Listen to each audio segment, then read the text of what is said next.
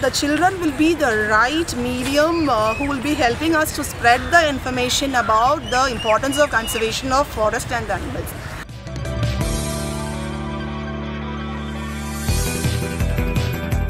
most of the time uh, when we are thinking about zoo means it's like a closed uh, uh, environment. Only we can see animals or maybe butterflies like that.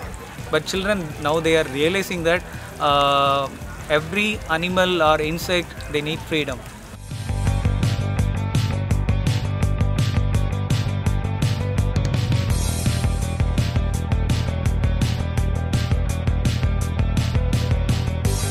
my first camp learning about animals and all basically I, I was more interested to learn about animals birds butterflies and all and uh, we learned more about how to conserve animals how to save them from uh, harmful hunters and all Uh, the teachers taught us many things. We could ask any doubts. They cleared all our doubts. They were very kind.